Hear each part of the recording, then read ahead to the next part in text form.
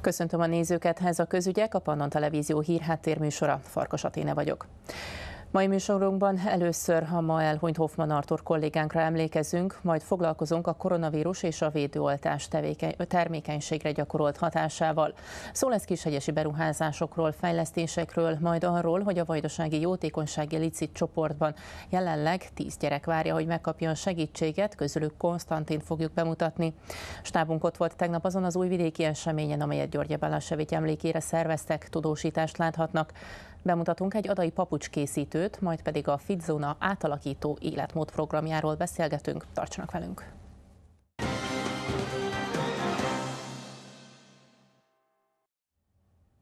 Elhunyt Hoffman Artur, operatőr, vágó, rendező, médiaházunk munkatársa. Ma délután Újvidéken hunyt el, ahol koronavírus fertőzés miatt kezelték kórházban. Hoffman Artur Zomborban született, 1954-ben az Újvidéki Technológiai Karon tanult. Operatőrként és rendezőként számos film és dokumentumfilm készítésében részt vett. Tíz éve volt a Pannon RTV munkatársa, az újvidéki csapatot erősítette, ahol nyugdíjazása után is segítette a munkát. Hoffman Artúrt médiaházunk saját halottjának tekinti. Most egy részletet láthatnak a Forog a Kamera című műsorunkból 2015-ből, amelyben pályafutása kezdetéről beszélt Orosz Ildikónak.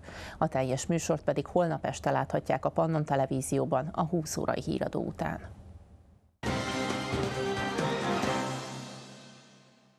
Hogyan kezdődött ez a te pályafutásod? Hogy kerülsz kamera a kezedbe? Illetve hogy lettem filmes? Hát édesapám sok mindennel foglalkozott, többek között afrikai szobrokat is faragott, bélyegét gyűjtött, numizmatikus volt, albumot adott ki, és ez mellett még nagyon szerette a filmet. Moziba járt anyámmal, meg később velem is, és igazgatója volt egy helybeli kinoklubnak is pár évig. Ő készítette a a díjakat is, szóval mindenes volt. Tehát nem csak, hogy vezette a klubot, hanem még amikor fesztivál volt, mert évente, annak idején évente egyszer voltak ilyen amatőr fesztiválok, akkor még a, a, a, a, azt, amit kézbe adtak plakitot, azt is ő csináltatta valaki, de dizájnírozta. És hát viszont fiatalon halt meg, én apanéki maradtam 14 évesen, és akkor addig én kezemben nem is volt kamera, én csak jártam vele moziba. Azt tudom, arra emlékszek, hogy a Frankenstein film, című filmet néztük együtt, és az nekem egy szörnyű élmény volt. De volt Zomborban egy ilyen ifjúsági mozi is, úgy hívták, hogy Svörcsó, ott ilyen gyerekeknek szóló filmeket vetítettek. Na az fölött, az emeleten volt ez a híres kinoklub, a Zombori kinoklub, ami a Bosnyák Ernő nevet viselte. Tudjuk, hogy ki a Bosnyák Ernő, ugye? Hollywoodot akart alapítani Zomborba, de nem sikerült neki. Édesapám jóba, vele, jóba volt vele. Egyszer el is vitte Belgrádba, amikor kapott életműdíjat az öreg. Na most őtől örököltem ezt a kamerát, amit el is hoztam. Na, nézzük. Ez egy ilyen rugós kamera, amit föl lehet húzni. Föl lehet húzni, és még mai nap is működik és itt van, benne van a film, megmutatom, ugye. Hány éves kamera ez? Hát én 69-ben vettem kezembe, de már akkor ez nem új volt, tehát szóval biztos ezek... egy 50 év, 50 év fölötti. A modellt nem tudom pontosan. De ezzel csináltad az első filmjeit? Ezzel, igen, ezzel forgattam az első jeleneteket, hát természetesen otthon a kertben a szomszéd ugráló kis kecskéit filmeztem, meg ilyesmit, de fekete-fehér filmen, és akkor ezt visszanéztem. Akkor valaki egyszer csak megfogta a kezemet, és azt mondta, hogy neked ott van a helyed a kinoklubban, mert a te apád az ott mindig bejárt, és nagyon ismert volt. Hát persze én olyan szégyelős fiú voltam, és akkor elmentem. Pénteken este voltak ilyen találkozók, ahol nagyon érdekes világ volt, mert ott mindenki a filmről beszélt, meg a fényképekről. A fényképeket elemezték, mindig előszedtek egy-egy fényképet, ugye valamelyik taktól, és akkor mondták, hogy hát ez jobb lett volna, hogyha itt levágod, vagy úgy, és akkor így lassan megfogott engem ez a világ. A kamerával még Tehát párhuzamosan fotóztam is, ha bár az nehezebben ment, de mivel a kamera ott volt, azzal hát szinte heti szinten valamit filmezgettem, vagy amennyi időm vagy pénzem volt rá, nem sok pénz volt, de hát fekete-fehér film.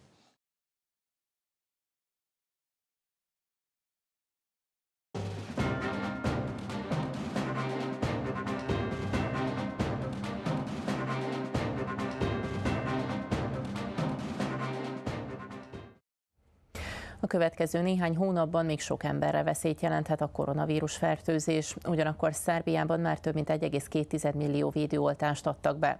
A vakcina megjelenése óta azonban számos kérdés merül fel az emberekben, az utóbbi időben mégis, ami leginkább foglalkoztatja a fiatalabb korosztályt, hogy vajon maga a koronavírus befolyásolja-e a termékenységet és a terhességet, illetve hogy okozhat-e meddőséget a Covid vakcina. Az internetes honlapokon kutatva csak még inkább összezavarodik az ember, hiszen egyik oldal oldalon azt írják, hogy sem a koronavírus, sem a védőoltás nem okoz meddőséget, és nincs kihatással a magzatra sem. Míg egy másik oldalon pedig pont az ellenkezőjét lehet olvasni. Talán pont ez lehet az oka annak, hogy számos kismama és friss házas bizonytalan a kérdést illetően. A téma kapcsán stábunk szakembert és babát tervező családot kérdezett.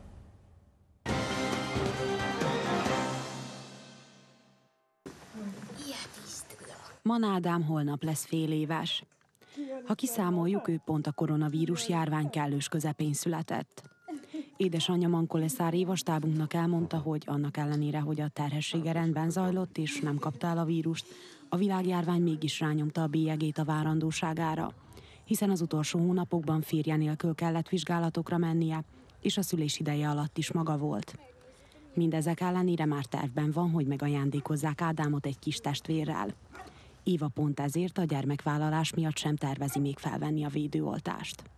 Megmondom őszintén, az egész védőoltással kapcsolatban nagyon szkeptikus vagyok, de azt gondolom, hogy ez az emberek alaptermészetéből fakad, mert amit nem ismerünk, vagy nem ismerünk eléggé, azt gondolom, hogy azzal szemben fenntartások, fenntartásaink vannak. Én abszolút így vagyok a védőoltással kapcsolatosan. Azt gondolom róla, hogy túl sokat hallunk, túl sok információt hallunk róla, mégis túl keveset tudunk az egészről. Ö, egyszerűen nekem ez egy ö, több ismeretlenes egyenlet, túl sok a ha, a de, a lehet, ilyen-olyan mellékhatás.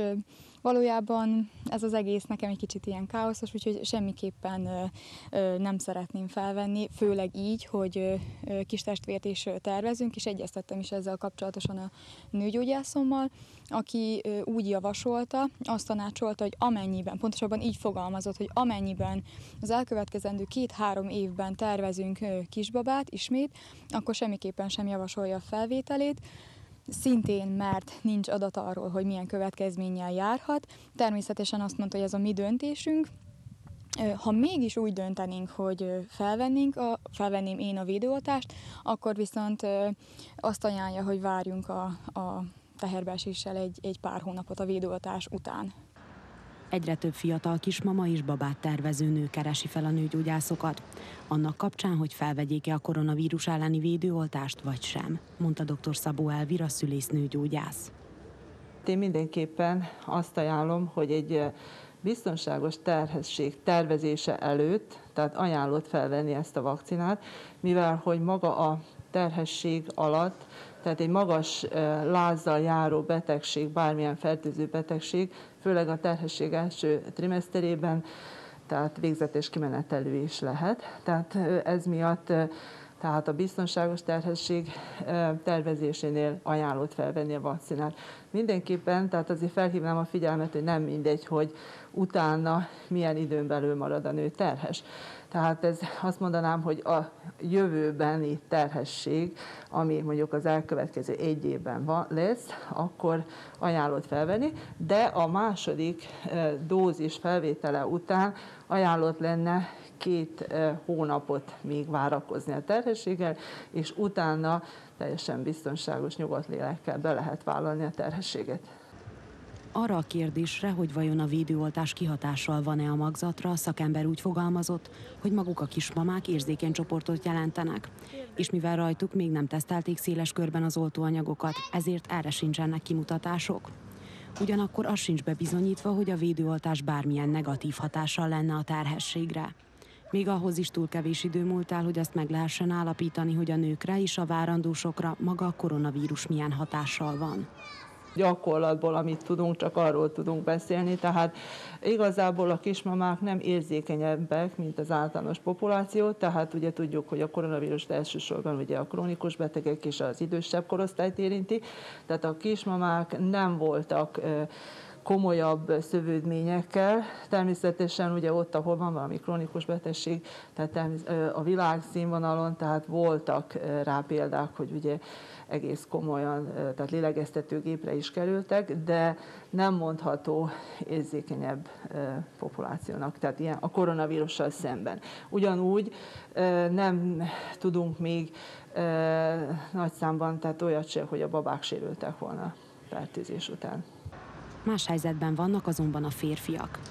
Egy Wuhani Egyetem vizsgálatai alapján ugyanis a koronavírus negatívan hat a férfiak nemző képességére. Ezt a problémát hazánkban is észrevették, nyilatkozta dr. Anna Mitrovic Jovánovics. A Mesterséges Megtermékenyítési Szakbizottság elnöke hangsúlyozta, hogy a helyzet komoly, de nem riasztó. Kiemelte, vannak férfiak, akik a járvány első hullámában megfertőződtek és sterilitási problémák léptek fel náluk, vagyis lelassultak a spermiumok. A szakember hangsúlyozta, hogy valójában a kivizsgált férfiaknál az sem kizárt, hogy már a vírus előtt is voltak problémáik. Akárhogy is pánikra nincs ok, hiszen a doktornő szerint a férfiak gyorsan regenerálódnak. Tehát ez átmeneti állapot. U ovom trenutku su muškarci ugroženi, ali je generalno efekat mali. To se samo odnosi na produžene teške forme, jer ne zaboravite, muška reprodukcija u odnosu na žensku je proces koji se obnavlja. Samo je važno da tokom te infekcije ne dođe do trajnog uništenja plemenitog tkiva testisa. Az orvosok arra biztatnak minden nőt és férfit, aki családalapításon gondolkodik, hogyha bármilyen kérdésük vagy problémájuk merül fel, forduljanak szakemberhez is, ne az internetes oldalakon tájékozódjanak. A várandós, illetve a nagyon közeli jövőben babát tervező nőknek és a szoptatós anyukáknak pedig egyelőre a szakemberek sem ajánlják a vakcina felvételét, mert ezen a csoporton még nem tesztelték széles körben az oltóanyagokat. Ők addig a bevett módon védekezhetnek, maszkal, távolságtartással és gyakori fertőtlenítéssel.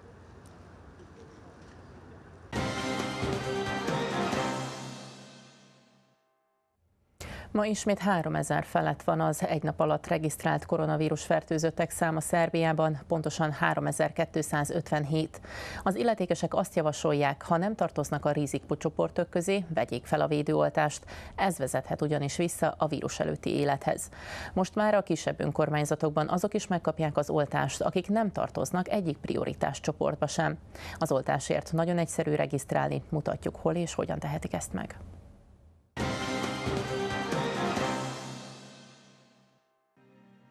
Megérkezett a koronavírus elleni vakcina Szerbiába is. Ön is felveheti a védőoltást.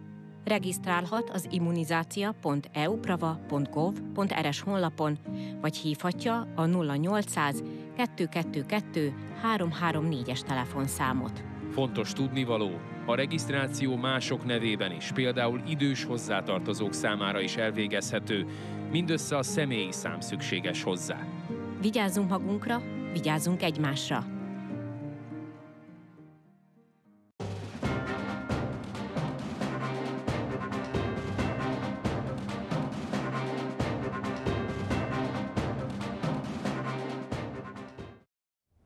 Két új kút épül Kishegyesen. A Verbászi úton egy teljesen új kutat építenek, míg az új faluban található B3-as kút új furatot kapott.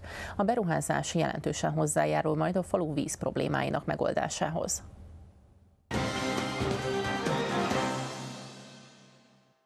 Köszöntöm Önöket! Itt vagyunk Kishegyesen, ahol hamarosan két új kút is épül.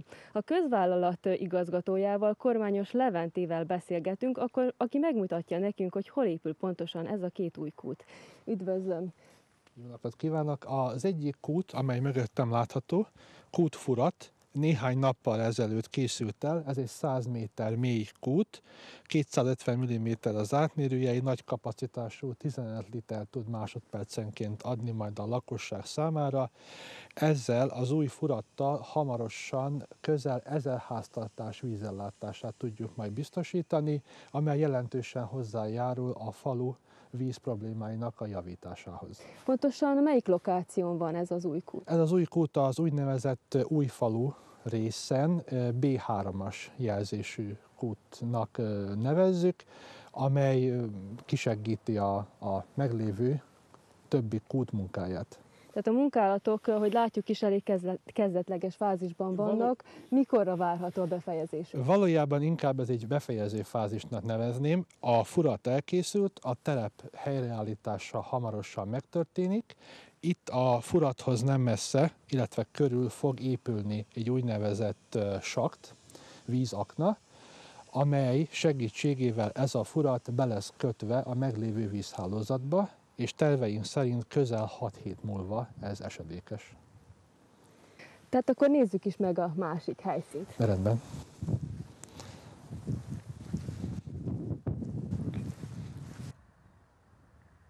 Az újfaluban található kutat egyébként több évtizede helyezték üzembe. Az élettartama a végéhez közeledik. Mint megtudtuk, tavaly már megmutatkoztak az első jelek, hogy hamarosan szükség lesz az új furatra.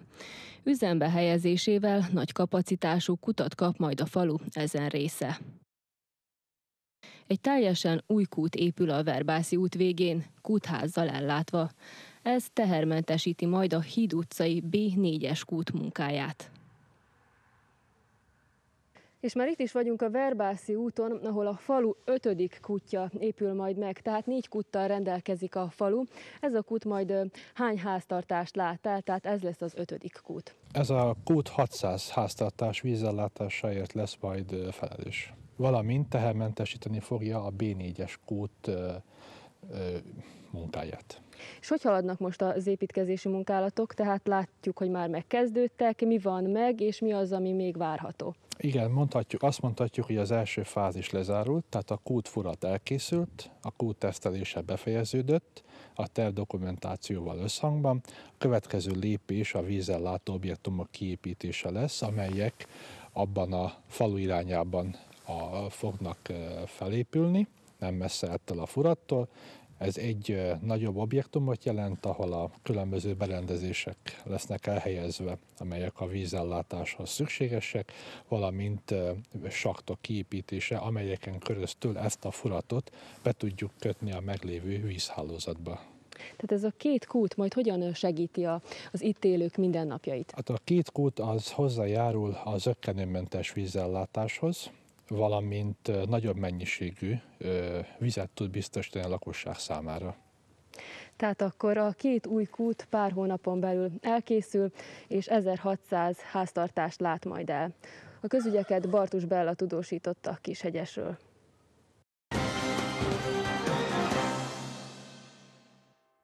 A stúdióban pedig Kishegyes alpolgármestere Sándor István a vendégem. Jó estét kívánok! Jó estét kívánok! Hány háztartás, hány százalékában a háztartásoknak van Kishegyesen ivóvízellátás?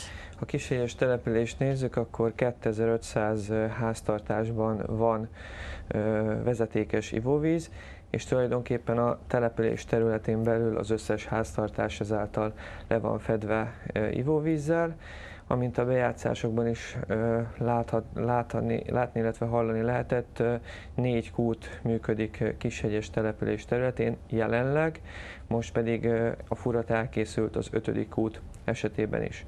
Ha visszatekintünk egy kicsit a régmúltra, akkor körülbelül 2012 környékén kapott Kishegyes új kutat, ez volt az úgynevezett B4-es kút, a kishegyesiek tudják, hogy a Híd utcában.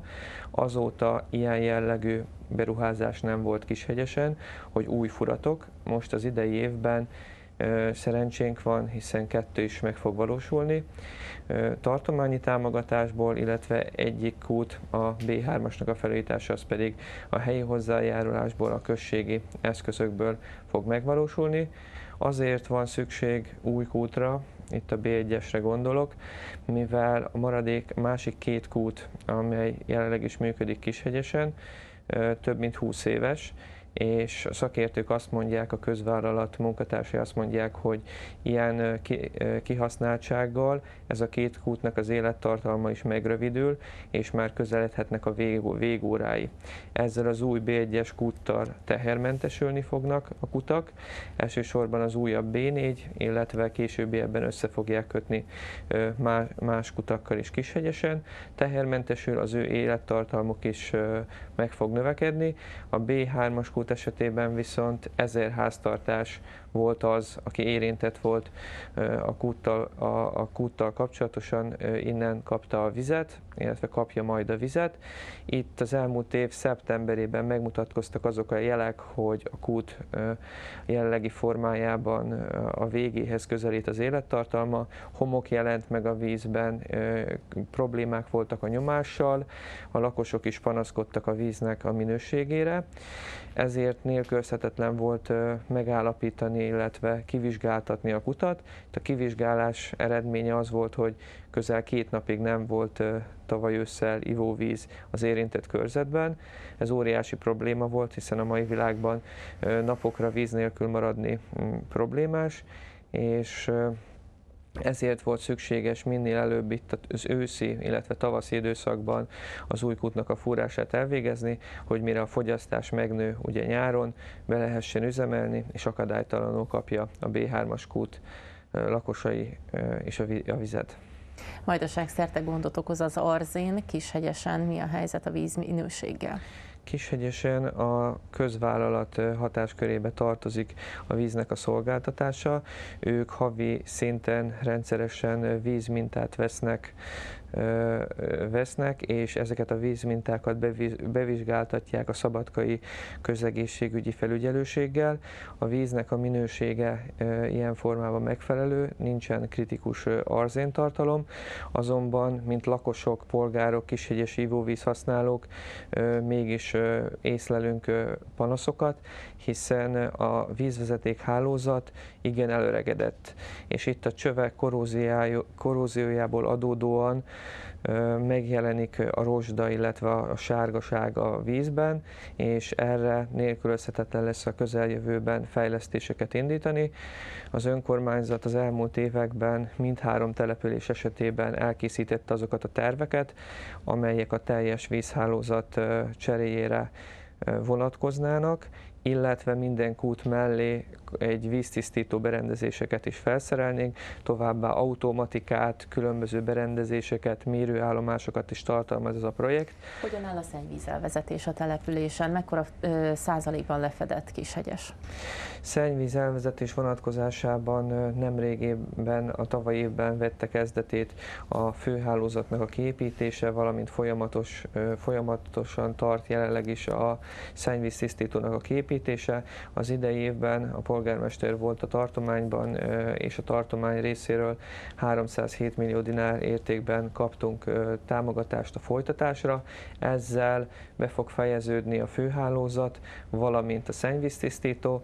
Az elkövetkezendő két-három évben pedig az önkormányzat várja folytatását a tartományi támogatásnak, hogy kiépüljön a teljes falut, illetve településeket minden utcába eljutó és a háztartásokhoz eljutó mellékszálai a csatornarendszernek. Van egy látványterv, amely Kishegyesre vonatkozik. Ebből idén, a 2021-es évben mi valósulhat meg? Mik a tervek? 2015 óta álmunk az, hogy Kishegyes településnek legyen egy normális központja, egy központi tere, ahol mind a rendezvények teret kaphatnak, mind pedig a lakosok megpihenhetnek, és egy látványban is emeli a falunak a képét. Folyamatosan pályáztunk. 2017 környékén két és fél millió dinár értékben egy kisebb részt sikerült megvalósítani, most pedig összegyűjtük ezt a projektet, és a Betlen Gábor alapkezelőhöz fordult a Kishegyesi Helyi Közösség, és anyországi támogatással támogatást kaptunk a teljes tér kiépítésére vonatkozóan, tehát az anyagi eszközök rendelkezésre állnak, a közbeszerzési eljárást kell megindítani, illetve előtte technikai dolgok vannak még a költségvetésben, hogy ho- hova lássák elő pénzügyileg ezeket az eszközöket pontosan, majd pedig kiindul a közbeszerzés. Hát azt gondolom, hogy a közbeszerzés ideje lehet akár egy hónap is, másfél hónap is, de hiszem azt, hogy idén megkezdődik a munka, és hogyha szerencsések vagyunk, látványos eredmények lesznek az év végére ezen a téren. Sok sikert és jó munkát kívánunk. Köszönöm, hogy a vendégünk volt. Köszönjük szépen, hogy meghívtak.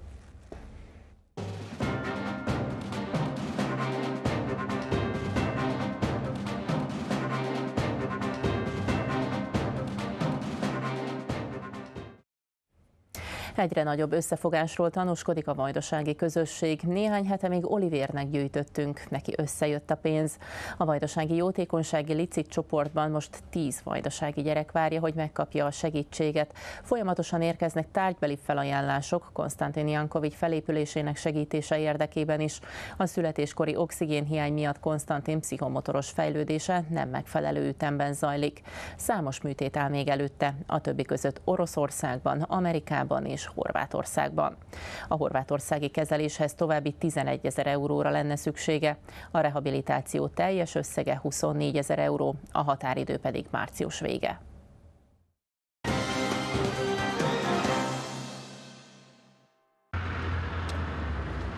Máj napig emlékszem, mikor először léptem be a munkahelyem újvidéki stúdiójának ajtaján. Már akkor feltűnt, hogy egy a közelben lévő lakóépület bejáratánál egy névre szóló pad található. Kóle, tanúskodott a tábla. Furdalt a kíváncsiság, vajon ki lehet ezen titokzatos idegen, akinek padot szentelnek a székváros tágabb központjában.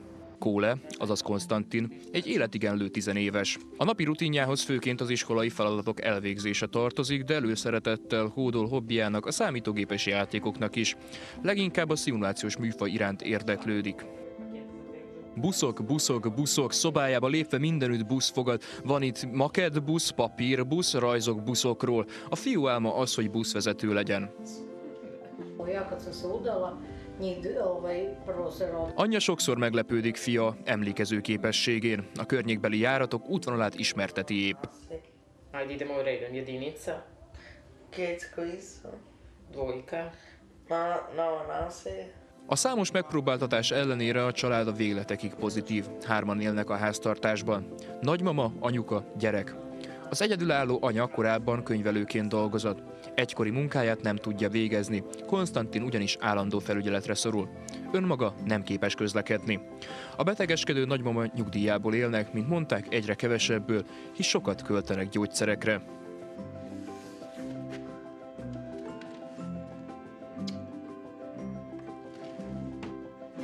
Nem adták fel a reményt, felkarolta őket a Budi Humán nevű humanitárius szervezet, akik gyűjtéssel járulnak hozzá Konstantin orvosi kezeléséhez. A Vajdasági Jótékonysági Licit Facebook csoportban is szerveznek árveréseket, hogy kisegítsék a családot. A nagymama is áruba bocsájtotta több mint száz éves könyveit. A szakácskönyvek igen kelendőnek bizonyultak. Avval is segítettem az unokámnak, hogy a bírjon elmenni erre a terápióra, ami őnek van minden évben. Egyszer vagy kétszer.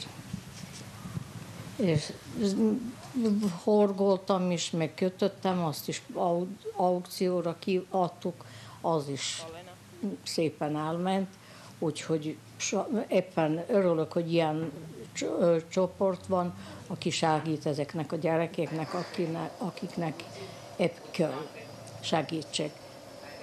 Szeretném csak, hogy egy nap bírjon a lábra állni, és hogy bírjon pár lépést is megcsinálni. A család egyébként nap mint nap szembesül akadályokkal. Gondolkoztak azon is, hogy eladják lakásukat, hiszen megterhelő volt az anyuka számára, hogy napi két-három alkalommal megtegye fiával az utat a harmadik emeleti lakásukig. Az anyuka térdei emiatt tönkrementek, hiszen Konstantin mindvégig rátámaszkodik séta közben. Ez szerencsére megváltozott, amikor mozgássérült felvonó került a lépcsőházba. Nagyjából 8 percig tart, még a fiú által vezérelt szerkezet felér. Hogy milyen kezelések várnak a továbbiakban Konstantinra, anyja ismertette. Konstantin je eto dete koje je znači od malena na nekim svakodnevnim vežbama, vežbanja, metode vežbanja, bio je na četiri operacije u Rusiji fibrotomije i imao je tri transplantacije matičnim ćelijama. Znači, a svaki dan su nama tu, eto, od samog rođenja, e, te neki, defekto, neki defektološki tretmani, e, fizikalne terapije, jahanje, plivanje, Tako da, eto, to u suštini već bilo da traje punih 12 godina. Imamo tu neku operaciju u Rusiji na koju ponavljamo svake dve godine, koja nas izađe oko 3.500 evra. E, ta operacija trebalo bi sad krajem godine da se ponovi, ali vidjet ćemo uz konsultacije ovaj, doktora iz Rusije. E sad, e, pored te operacije e, smo pronašli, je robotska neurorehabilitacija u Hrvatskoj po klinici Glavić. Sama je vežbe na robotu i igrice, znači gde se od njega traži da pravi određene pokrete. E, te terapije su jako skupe. Akik segíteni szeretnék Konstantin felépülését, akár SMS-ben is támogathatják a nemes ügyet. Az 543-as kódszámot várják a 3030-as telefonszámra. Minden egyes elküldött üzenet 200 dinárral segíti hozzá a családot céljuk eléréséhez. Konstantin gyógyulásához, ahhoz, hogy egy nap az ifjú Terminátor volán mögé ülhessen. Bővebb információ a www.budihuman.rs oldalon található.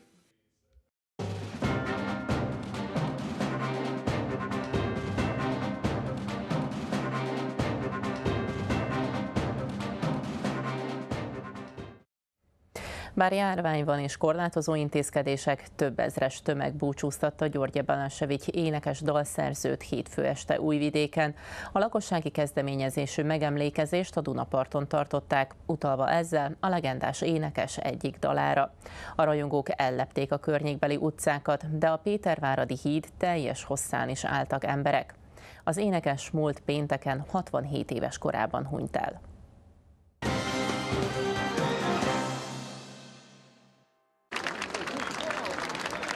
Pontban 7 órakor kivetítették Balasevics arcképét a Péterváradi várfalára, nem sokkal később megjelent alatta a szignója is, ezt követően felcsendültek ismertebb szerzeményei. Bio jedan od nas i da jednostavno kao da je neko od mojih najvoljenijih otišao. A gyászoló tömeg mécsesekkel, gyertyával, virágokkal búcsúzott a legendától, egyesek személyes tárgyaikat, üzeneteiket hagyták az alkalmi oltároknál. Otac, majka, brat, tri sestre. Nikad krupnije suza nisam pustio nego za Đoletom. To je me pogodilo, to je čovjek, taj se ne verujem da će ikad roditi kao što je on bio. Fákjás menet törte meg a Duna csendjét, csónakok tisztelektek a Pannon tengerész előtt. Najžalije mi je nas koji smo ostali bez njega, polako odlaze najbolji. Bojim se onoga šta nas čeka u budućnosti.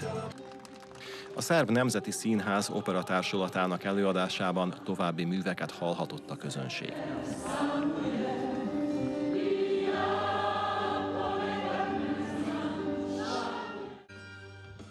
Györgye Balasevics újvidéki születésű vajdasági énekes, dalszerző, költő, színész és rendező volt. 1953. május 11-én látta meg a napvilágot, nyugodt gyermek volt, jól tanult, szülei ellenezték zenei karrierjét, soha egyetlen koncertjén sem vettek részt, noha Gyole mindvégig foglalt számukra két helyet. Kad je umro i kad je to objavljeno, prosto su suze krenule, našao sam neku rakiju i, i onda sam to shvatio. Tako da Gyole je svakako deo nas.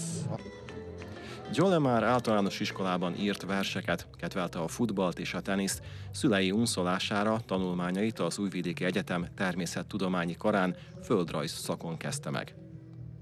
Jedan lep život znači ovaj, primer kako treba odnositi se prema drugima. Az egyetemet ott hagyta, helyette inkább zenei pályafutást választott.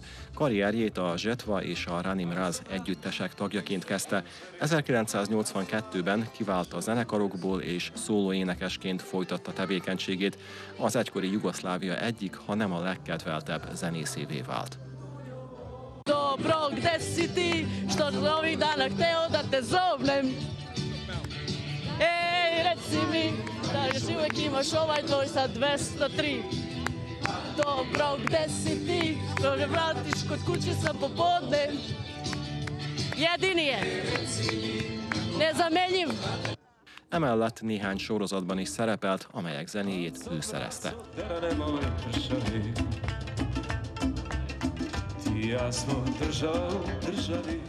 I jeste i dalje simbol dobrote, ljubavi, ne znam. Nek se sada vidi ko je bio kad je otišao, nažalost.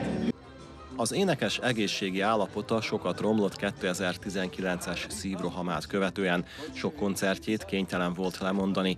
A 67 éves művészt néhány napja tüdőgyulladással szállították kórházba. Sajtóértesülések szerint koronavírus szövődményeibe halt bele. Mislim što je uvek bio pored za pravdu i što je uvek e, bio nekako na strani pravičnosti, e, na strani e, jedinstva, na strani rekao bih nekog zajedništva, na strani pacifizma. Végső nyughelyére február 21-én vasárnap kísérték. Újvidék város polgármestere gyásznapot hirdetett a temetés napjára. Félárbócra engedték az zászlókat. A rajongók által szervezett hétfő esti megemlékezésnek az é, amikor Jole átúzta a Dunát nevet adták, utalva ezzel az énekes egyik dalára.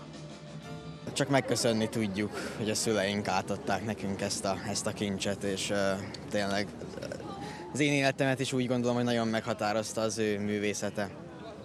Ami a személyét illeti, mi az, ami leginkább megfogott benne, hogyan emlékszel majd vissza Hát azt nagyon szerettem benne, hogy bátor volt, kimerte mondani a véleményét, volt egy kiállása, egy, egy óriási karakter volt. Az esemény fényáradattal zárult, a jelenlévők világító mobiltelefonjaikat emelték a magasba, sokan az erkélyekről, az ablakokból fejezték ki szolidaritásukat. Két csillag csak az égen, mint a személy, mint a gyöngyharmát, a, a, ez nem kökszik, A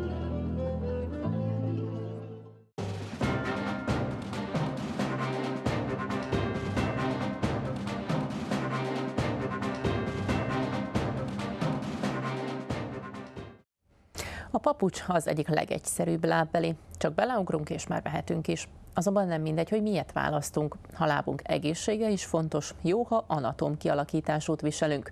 Azonban az ilyen lábbelikről mindenkinek a fehér kórházi verzió jut eszébe. De mit szólnak, ha azt mondom, hogy egy anatom papucs is lehet divatos? Ismerjenek most meg egy adai mestert, aki kényelmes, egészséges és nem utolsó sorban mutatós papucsokat készít.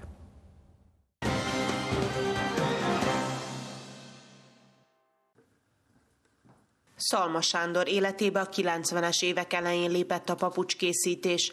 A szakma fortéjait egy barátjától tanulta, akinek felmenői is ezzel foglalkoztak. Innen indult az ő közel 30 éve tartó kalandja. Akkor 92-ben már kinyitottam önállóan egy önálló javítóműhelyt, de hát mm, én nekem az, én úgy, úgy gondoltam, hogy én nekem az nem elég, és akkor ö, próbálgattam, hogy ö, különböző papucsokat készítettem, legelőször piacokra, vásárokra, de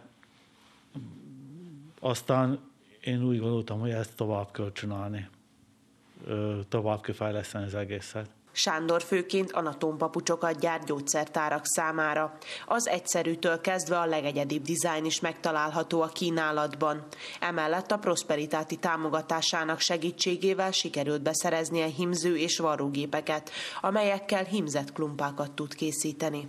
Legelőször csináltunk egy kutatást, hogy tulajdonképpen készíte valaki ilyet, mert hogyha készít valaki nagy ilyet, akkor én azt nem fogom csinálni, mert nem tudok lépést tartani vele és akkor elkezdtünk egy ilyen piackutatásba fogni, és rájöttünk, hogy senki nem csinálja, nem, hogy nálunk nem csinálják, a környező országban, sőt, a világon nem találtunk olyat, aki készítene hímzett krumplákat. Egyedi megrendelései közül kiemelkedik az Omega együttes jelével ellátott klumpa, amelyet az együttes közeli rajongó táborából rendeltek tőle. Sándor elmesélte, hogy az elkészült darab annyira elnyerte a megrendelő tetszését, hogy elhatározták, magát Benkő Lászlót is meglepik egy ilyen darabbal. A művész arra kérte Sándort, hogy színaranycérnával hímezze ki a papucsokat. A lábbelik elkészültek, azonban Benkő már nem tudta őket hordani, hiszen a postázást követő napon kapta a hírt Sándor, hogy elhunyt a legendás zenész. A hímzett klumpákon kívül a világhíres szegedi papucs is megtalálható a kínálatában. Néhány darab rangos elismerést is kapott. Én azokat a papucsokat kimondottan itteni motivumokkal használom. Ezeket a motivumokat használom föl, és ezekkel megyek zsűrizésre is. És ö, tulajdonképpen ö, nálunk a, ezek a motivumok, amik itt vannak nálunk délvidéken, Vajdaságban, sokkal gazdagabbak, mint amit kint Magyarországon találtunk. Kalocsait nem is akartam tenni rá, azt csináljuk a kalocsaiak. Én itt tenni, itt tenni és ö, egy cél tűztem ki még magam elé, amit meg szeretnék csinálni. A Debejacsai, vagyis Torontálvásárhelyi mintát azt megcsináltam, azzal nyertem is ö, tavaly Budapesten a Mesterségek ünnepén volt egy nemzetközileg meghirdetett verseny, onnét a harmadik helyzetet hoztam el. Le voltak döbbenve teljesen, mert tényleg, hogy egy, egy, egy, egy, egy teljesen, teljes, hogy mondjam, egy gazdagon díszített papucs az egész. De meg szeretném csinálni a, doroszlóiakét még, meg szeretném csinálni, meg szeretném csinálni a gombosiakét, és ö, lassan az egészet, az egész ö, tájegységnek a motivumát rá szeretném tenni papucsra. Sándor a jövőben szeretné megszerezni a népi iparművész címet. A külföldi piacot is szeretné megcélozni kézműves papucskészítőként. Elmondta, hogy elsősorban a fatalpú klumpákat és a fatalpú nyitott nyári papucsokat szeretné erre a piacra gyártani hímzett díszítéssel.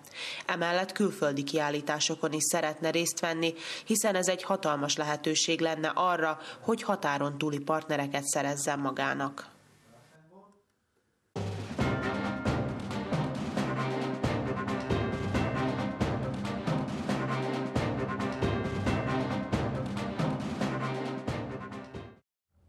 Idén is lesz életmódváltó átalakító műsor a Pannon Rádióban és a televízióban is. A cél most nem az, hogy minél több kilót adjanak le a kiválasztottak, hanem hogy tartósan változtassanak életmódjukon. Hogy hogyan lehet jelentkezni, és kik lesznek, akik segítenek az átváltozásban, kiderül a következő felhívásból.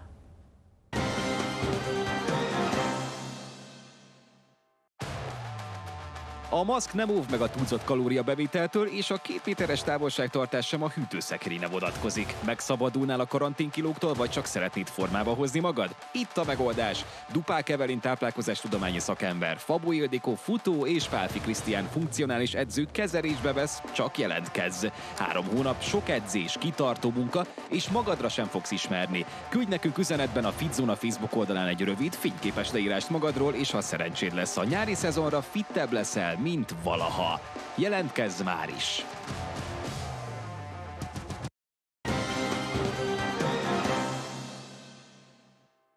A stúdióban pedig Kókai Mónika, a műsor szerkesztő műsorvezetője. Jó estét kívánok! Jó estét! Köszöntelek és köszöntöm a nézőket!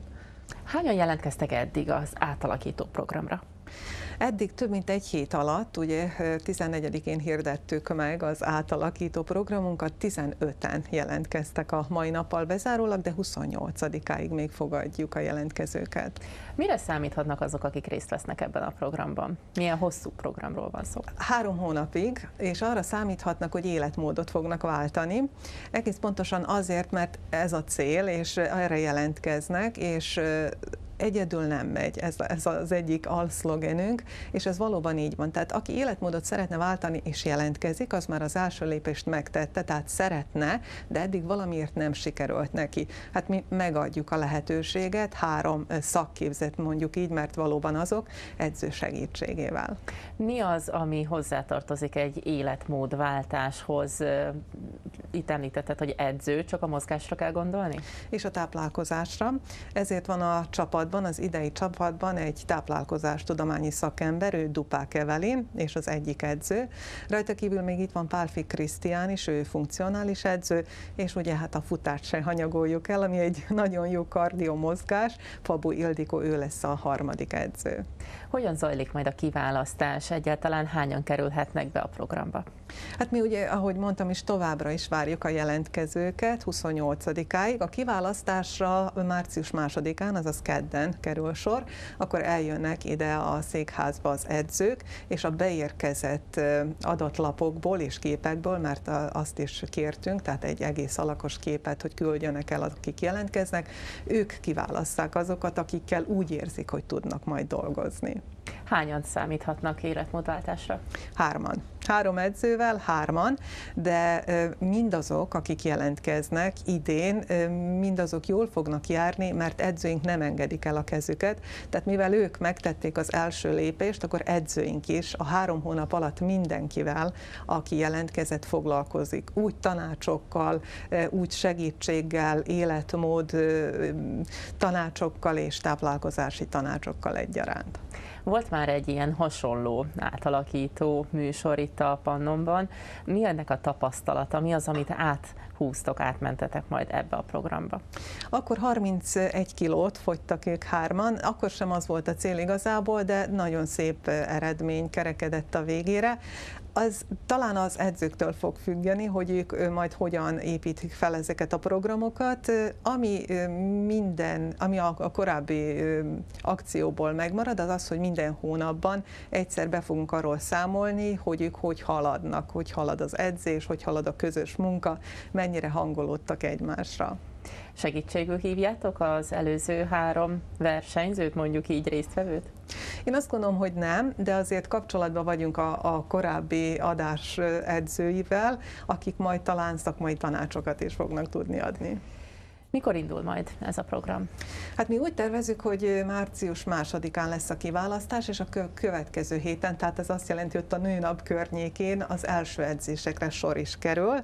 A kiválasztás után mi ezt is le fogjuk követni, az első találkozásokat, el fogunk beszélgetni azokkal, akik jelentkeztek, hogy miért jelentkeztek, elmegyünk haza hozzájuk, hogy milyen körülmények között élnek ők, hogy miért nem sikerült eddig fogyniuk. Ezt majd bemutatjuk az edzőknek is, akik remélem remélhetőleg sikerrel fognak járni. Mekkora elfoglaltságra kell, hogy számítsanak a kiválasztottak a következő három hónapban? Mennyi időt fog ez elvenni? Tudnak majd online is edzeni, tehát napi szinten kapcsolatba tudnak lenni három hónapig az edzőkkel, de természetesen jó lenne hetente kétszer-háromszor azért a személyes találkozás is mi az, ami a koronavírus járvány az intézkedések miatt átalakul most ebben a programban?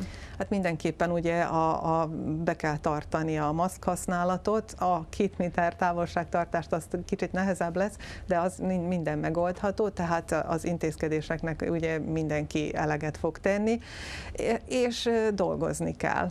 Úgyhogy a, a, ami, ami a, a vírus helyzetet illeti, azt tiszteletbe fogjuk tartani továbbra is, ahogy tavaly is tettük, mert ugye tavaly pont az akció kellős közepén robbant ki a vírus. Hol és mikor lehet követni a Fitzóna műsorát? Minden szombaton a Pannon Rádióban a 91,5 MHz-en, vasárnap esténként 18 órától, este 6-tól pedig a Pannon Televízióban. Sok sikert kívánok ehhez a programhoz, és köszönöm, hogy a vendégünk voltál. Köszönjük szépen!